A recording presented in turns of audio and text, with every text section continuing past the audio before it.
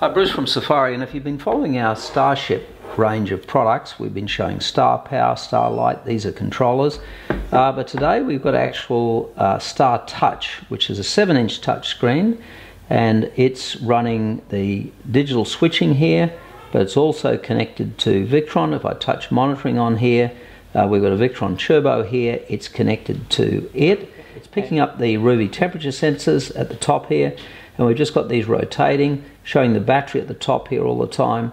And, and then on the switching that we've got here, uh, then we've got these lights that we can turn on. Uh, we can activate the dimming function if we wish and uh, dim the lights. And if you've got an RGBW, uh, we can change the color in it. Uh, for the tanks, uh, we've got our star tank running here. So we've got three star tanks running in here at the moment. We've got capacity here for five tanks. And uh, the tank sensors at the moment, we've just got right on the desk, so they're reading uh, completely full. Uh, we've got power buttons, you can move these buttons around.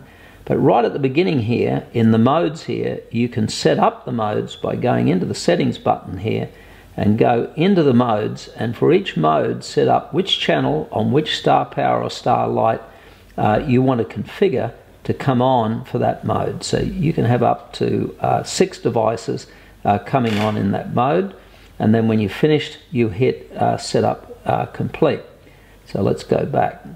And we've also got mode interior, mode arrive, mode depart. So we've got four modes on the front screen and then we've got the lights, power, the comfort, air conditioning, fan, tank, and uh, lastly, we have the monitoring. You can turn the inverter on and off from here as well. How good's that?